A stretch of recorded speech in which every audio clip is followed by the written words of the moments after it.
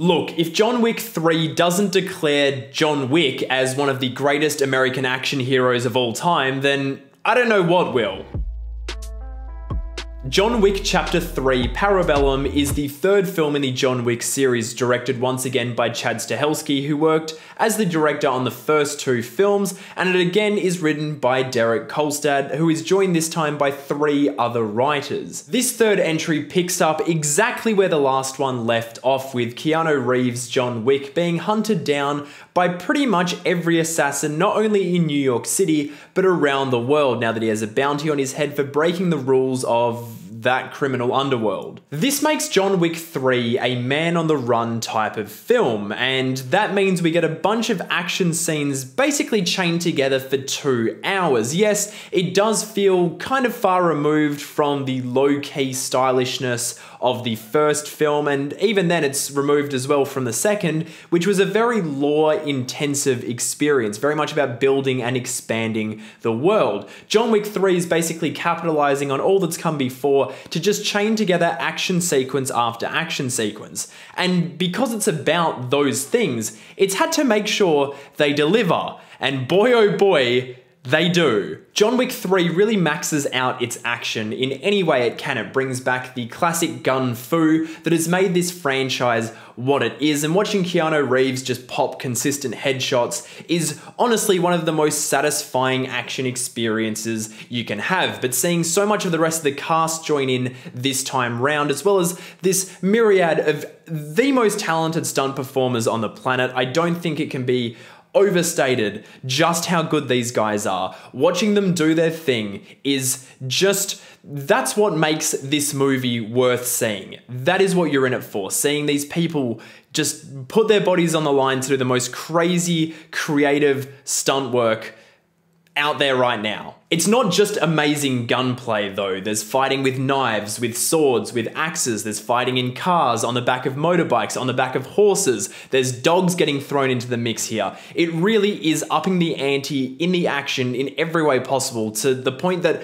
I don't see how they could push it any further than this. All of this comes across so beautifully because of the way the John Wick series continually captures its action in wide shots without cutting it up. You really get to see the performers going at it, and it makes it even more impressive when you're seeing knives stuck into people and people getting shot in real time without cutting away, without making any edits to hide the stuff. When you're really going, wow, wow, Wow! There's something incredibly special too about seeing that just about all of it is actually Keanu Reeves. He's out there doing that stuff himself, going toe to toe with people who have been stunt performers their entire lives, who have trained to be specifically good at those things. The fact that Keanu is going toe to toe as John Wick with them is truly just, it's amazing. Cinematographer Dan Laustsen continues to light these scenes with an absolutely stunning neon glow to them. The first half hour of this movie is absolutely astounding to look at. There really is some beautiful stuff done, and there's continually creative ideas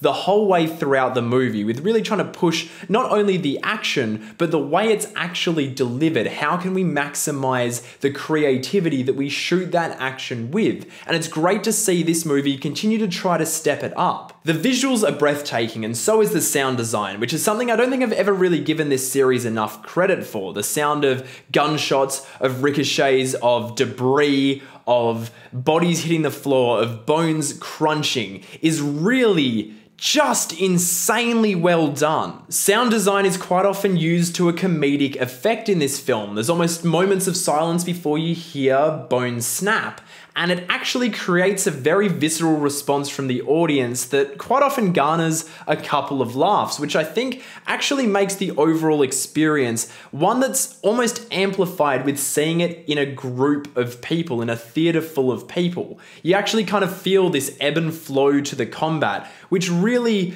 really makes for a much more involving experience, hearing people kind of gasp and oh and ah, that's, you, you feel it. And I really, really like that. That being said, with the sheer amount of action in this movie, I'm sure that some people are going to find it overstays its welcome at points. Some scenes definitely do have a sense of repetitiveness to them that I think some people might check out for. There were moments where I felt like scenes were not escalating enough to warrant being continued for the length that they were, despite how glorious the choreography and photography was. I also can't help but feel that some of the exploration and expansion of the world and its lore in this movie kind of takes away from the momentum and the ferocity that could have been there had it have decided to just run off the back of chapter 2 with this thing with everyone's trying to kill John Wick and he's just trying to stay alive. I actually think that there was enough story material in that to generate a two hour film of John Wick kicking ass. But what John Wick Chapter 3 does is it goes and kind of explores a whole bunch of other things to expand the world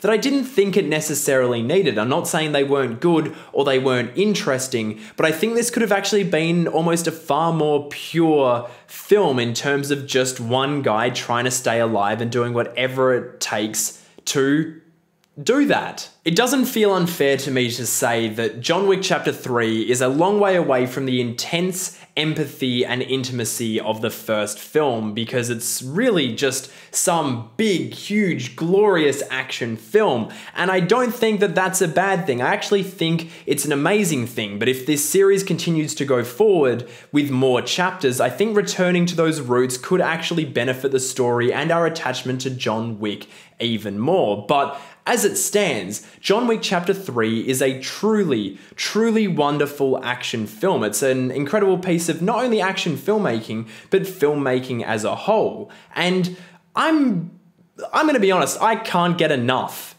of John Wick. Alright everyone, those are my thoughts on John Wick Chapter 3. Have you seen it yet? Did you like it? Did you hate it? Did you like this video? Well, of course you did. You can subscribe to Breaking Banter down there somewhere, as well as my other channel, Loverboy, over there somewhere. You can follow me on Twitter at Loverboy Media and on Instagram at Breaking Banter. And of course, if you do really want to help support this channel, you can support on Patreon. Thank you so much to you guys that are doing that already. You're amazing. I love you. I love everyone that watches these videos, and I will see you all in the next one.